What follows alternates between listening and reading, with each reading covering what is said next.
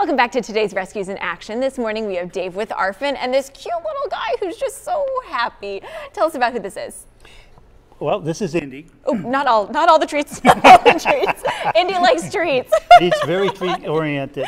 But um, Indie's a year old, and he's a terrier mix, and I think he has a little bit of Yorkie in him because if you look at his ears, you know, he, he's they're extra long, Yes. and that's a sign. And he's uh, he's been neutered. Okay. He tested heartworm negative. He's up to date with all his shots, and um, he's actually um, he sheds very little. Oh, that's a plus. Yeah, I don't know if he's hyperallergenic or not. Yep. But his his uh, foster mom says that he hasn't shed yet Oh, for two weeks. So that is awesome, you So that- kiddo. that's That's, a a good, one. Yes. He- and now he has a lot of energy. Yes. yes, he has Yeah. a lot of energy. He loves to like one lo- more? loves to walk, loves to play, Mm-hmm. and. Um, he, he's, he's, my wife and I were over meeting him uh, yesterday, Mm-hmm. and we were throwing a toy out, and he was fetching, and he, he, he split it up between all between all three of us, the foster mom, and uh, Oh, he so- already knows how to share at such a young age. He That's does. Nice of you.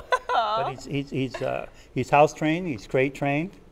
awesome. You know, he's, he's just uh, very lovely. yeah. He looks like he'd be a great addition to any family. Oh, he would. If he, he, he's good with other dogs and cool. kids. and What about cats?